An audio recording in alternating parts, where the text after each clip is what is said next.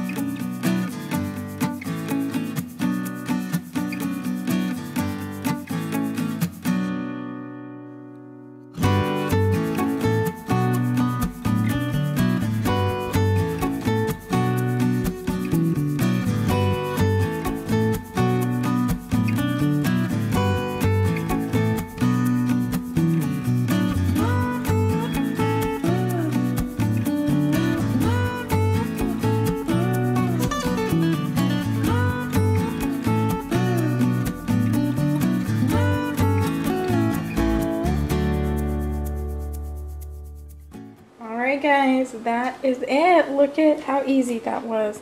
Just threw it all together. Everything I had. I've never actually made one that had cucumbers in it. Um, really, so, or peppers. Um, usually I do like broccoli, cauliflower, tomatoes, and carrots, I think, and olives. So I am waiting to get more ranch. So I just use a bottle dressing because it's easy and looks pretty, right? Except you have to keep your husband from eating all the things. I said stop eating the things. It's too good. It's too good. Yummy. Then you keep him around to take your things out of the oven though. Check these out. Can you not go wrong with some chocolate chip cookies? Oh my goodness. That I didn't even have to stir up.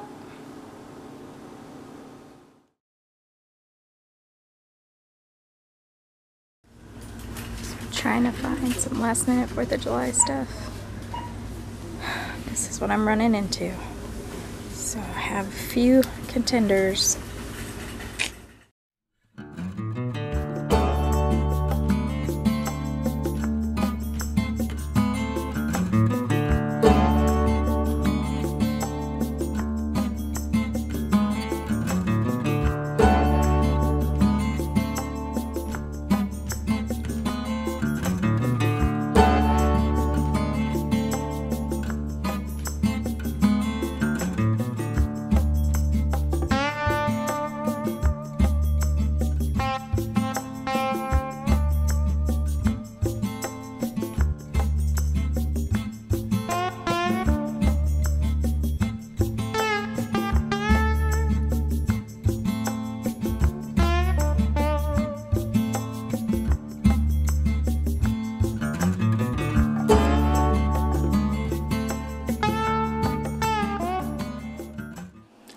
Hey guys, so I just want to come on here quick and end my video. I hope you guys enjoyed it.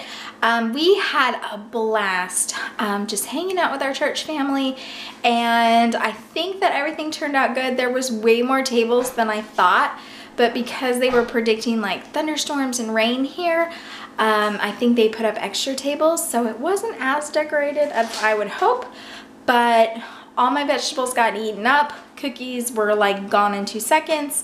Um, I should have probably made got two packs and but what can you do? So we had a blast. I've enjoyed sharing the fourth with you and I will see you guys in my next brand new video. Bye for now.